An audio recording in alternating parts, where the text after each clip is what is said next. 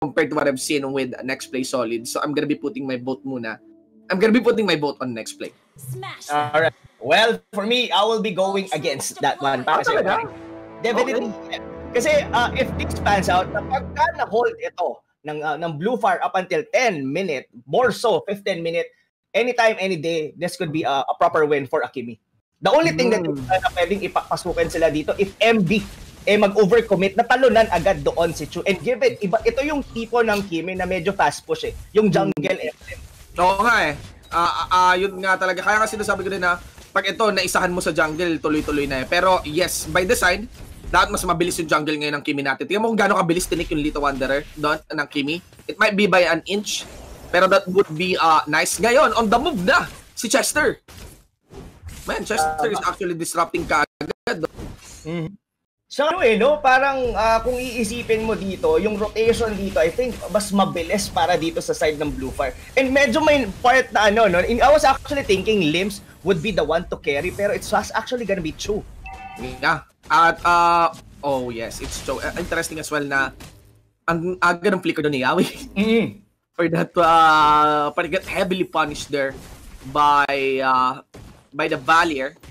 Pero still not gonna be enough. We still have no first blood for this game, no? Um, I, I can't help but feel na parang same to nung game 1 ng ano ng Bren tsaka yung tsaka Onyx uh, tagsahan sa una tas unang kill tutuloy-tuloy na no. Mm. Def, uh, it could actually go with that. Pero ito no, ito kasi magiging uh, catch talaga dito parang Shane is medyo negated dito si Creepsu. So it's up for him kung paano niya mapo-force out kasi all of uh, actually four at least three pala ng mga main heroes dito or core heroes for NXP Solid do have its Purified. So meaning to say, Creepso would have a hard time landing the Fatal Links into uh, if in case na magkaroon. Pero, they do have here the Yuzong na pwedeng pwede pumasok agad doon sa backline nila na ma-for, na ma-purify. Then that's the time for Creepso to take advantage and get uh, a good or land a good Fatal Links. Yeah. Yeah. Uh, again, alam naman natin kung gaano ka kaya Fatal Links yung headline natin dyan kasi nga alam natin kung gaano ka-game-changing yung Fatal Links eh, di ba? Mm-hmm. But there we go. Uh, alam din natin kung gaano kaganda ang uh, macro sense dito ni H2. I can actually see kung gaano siya ka-wise sa paggamit, even the Mountain Shocker, just so they can establish a little bit of pressure against Blue Fire. No, buti na lang wala pang turtle on this part. Mm.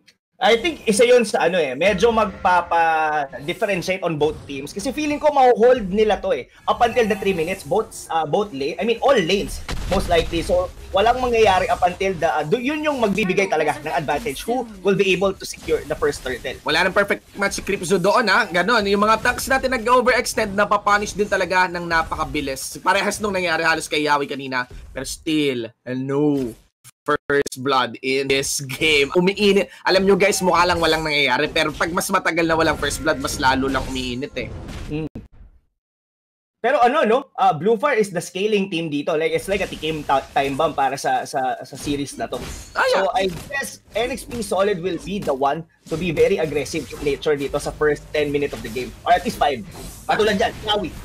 Okay, tingnan natin ha. Yawi here. There's the Fatal Links completed mula kay Crimson Aray. Mga kaibigan, tutok agad. Pero si Choi was able to walk away. Habol ni Renny J. And he can attack even more. That's the first kill siguro the members dito ng mga taga Blue Fire at tuloy ang apoy. Ah, atras muna hoy. Dito ngayon. Ito ang Blue Fire. And that's it. They were able to bag one members. Pero, tol, na-miss out ko. Sino nakakuha ng turtle? I didn't see that kasi nakatutok ako doon sa Kimi, to be honest with you guys. Kasi ang nangyari doon, no, actually makita mo na dito eh kung ano yung targeting ng NXP Solid. Even Rene J going doon sa backlane, that's why Chu was forced to go inside the tier 1 turret. Then si MB nag-avatar of the Guardian itself. Ah, uh, kumbaga talagang tina-target nila dito si Chu. Ay, all, all. And uh, alam naman natin eh, Chu yung may susi talaga dito eh. Pero at least hindi ganun ka na sa shutdown si Cho. Tsaka isang talon lang. And it's a good thing then that I think uh, yung purification na nagbigay ng enough movement speed for Cho the moment na tumalon si Rene J. The job of Rene J was good. Talagang ano lang, um, mataas yung movement speed na provided ng purification doon. Yeah, it, and actually it's H2 who did get the turtle. Ah, uh, uh, yeah, yeah, we get H2. So again, consistency ni H2. Pero man, init ni Cripso ah, round 2 na yun. Mm. It was Chester that was back in. May isang kill din naman na nakuha dito yung next play, no? Upon that, re, uh, upon that uh, replay yata. Renegade against, um, against Secret.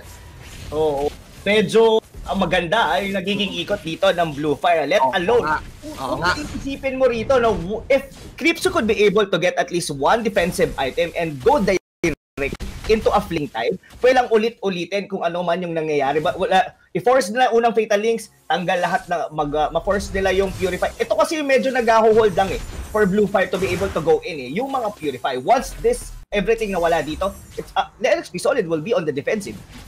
Ah, yes. Totally. Uh, lalo pa may panghabol yung blue fire. Flicker din yung hawak nila dito. I mean, that might be used defensively, pero pwede mo talaga gamitin yan offensively, no? We get round to the turtle dito. And I, I cannot but feel na um, yung early expectations dito na next play, na break ka agad ng, ano, ng blue fire. But still, there is H2. And the guy is always headline, not really by his, mi- more than his mi- micro skills, but by his consistency. Hagip dito si Unseen. Mm-hmm. Doon yata, pwedeng sunod-sunod yan. Nahagip si Cho dito, Purification, sunod na layer MB, hindi makapasok si Secret. Zinozone out lamang ni Chester. Agawan dito ng buff na, isecure pa rin naman yun ni Cho. Oo, oh, ang ganda. Ang ganda nung pasok doon ni Yahweh, securing, I mean, to unsee. Medyo nawala. Nawala yung formation dito ng Blue Fire from the turtle. Parang may part sa kanila that they would like to contest, pero parang haphazardly, nag, nagdadalawang isip sila eh. Mm-hmm. Di ba?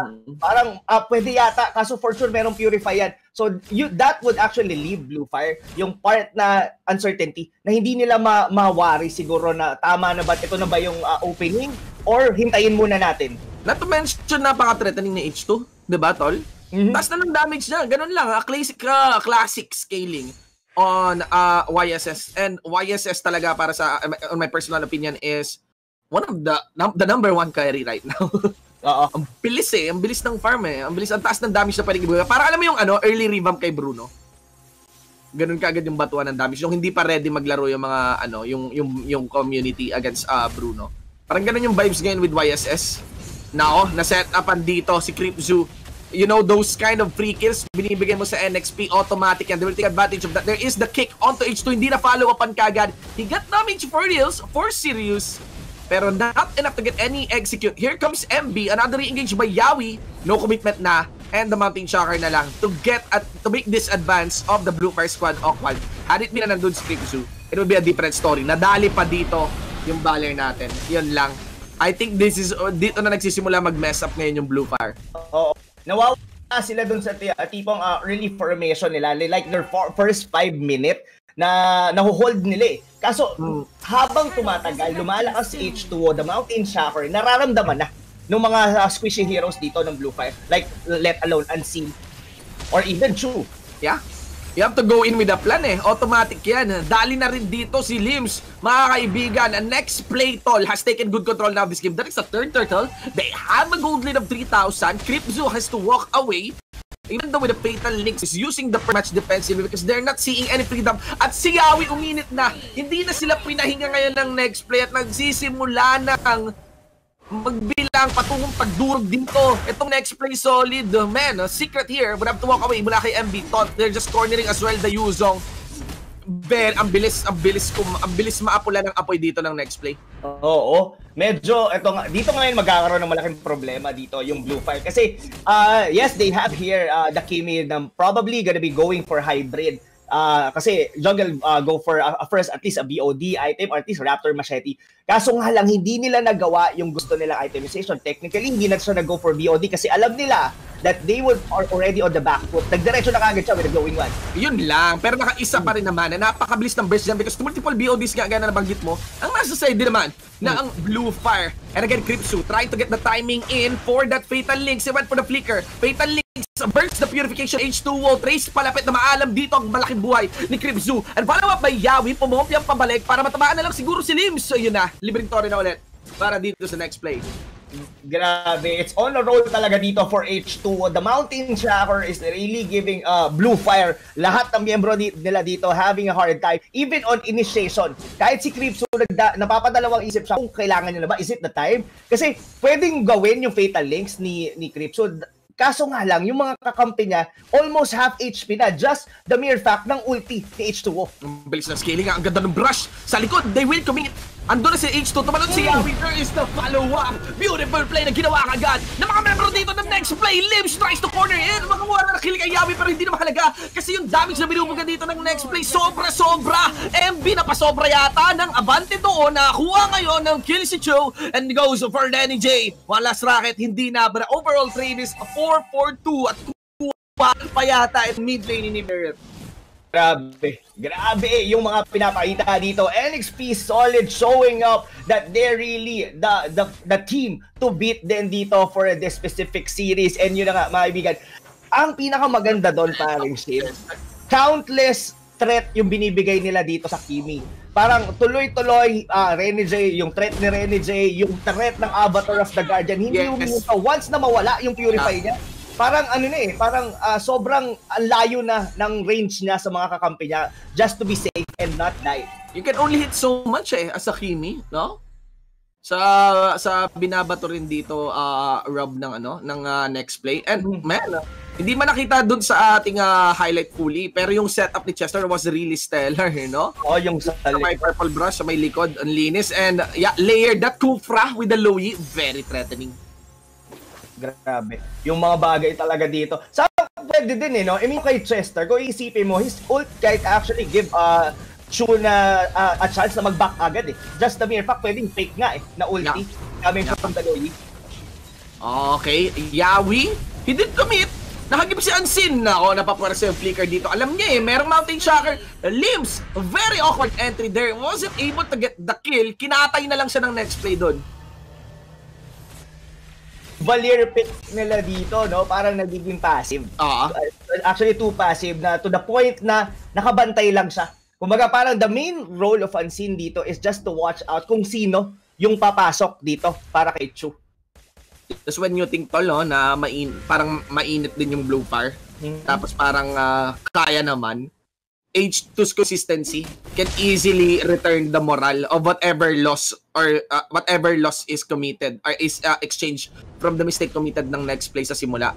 Parang andali, basta okay si H2, okay lang si NXP no, makapagbigay ng konting kills here and there. 'Di ba? Totoo. Totoo 'yan. Pero ito, may, may, there's still a chance for uh, Blue Fire to be able to come back into this game. Of course, this hmm? is Akimi. Uh, once Akimi with a, at least a mage item na makompleto pero Secret might actually die there. But habol sila kay Renny J.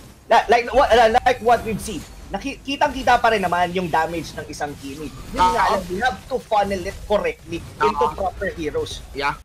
And ano nangyayari na juggle effectively ng next play yung damage ng Kimi, 'di ba? Oo. Parang isa parang you if you are the Kimi, you find yourself hitting different targets for a short amount of time. Mamaya, dapat catch yung tinatamaan mo, minsan uh, Kufra, minsan Esmeralda, bottom line, no execute eh. And mm. maybe that's where it is lacking. Walang execute kill dito yung Blue Fire. No? Probably, uh, alam mo yun, kung Balmond pa siguro to, baka mas may execute kill pa, di ba? Pa ano eh, parang ang game, ang, ang play na lang talaga ng Blue Fire ngayon is to turtle this one. Uh, probably give, uh, the, uh, well, well, nakuha na yung unang lord, is hold nila to up until na makakuha at least 3 core items dito, yung uh, si Chu that can be able to burst down. May damage pa rin naman eh. And ang mahirap lang ngayon is that Kripsu parang hindi niya makuha yung group niya o makakuha na magandang fatal licks. Yeah, napabilis ng punishment kay Ansin. The moment talaga may, may overextend, gulat factor lagi talaga yung uh, next play. And if you not accounting that, no, dun sa panggulat na yan, yun ang malaki problema. Set up pa ni MB tsaka ni Yawi dito sa may pinakalikod ko. Sakto yung minion wave na darating ngayon. Pero third, who's taking some damage on that doesn't matter. Even if Yawi is saying goodbye, ilan man ang namatay dito sa side ng Blue Fire? Apat! And that's it! That's gonna be two inhibitor turrets to be taken in. One for the bot, one for the mid, and one for the base, and they will rotate as well. Panira ng moral, mga kaibigan. Tamang emotes. Indeed, this is the team that was hailed to be Team Payabang, but the Payabang will take the win for this game number one. Next play, solid. Wow, solid performance indeed, mga kaibigan dito coming from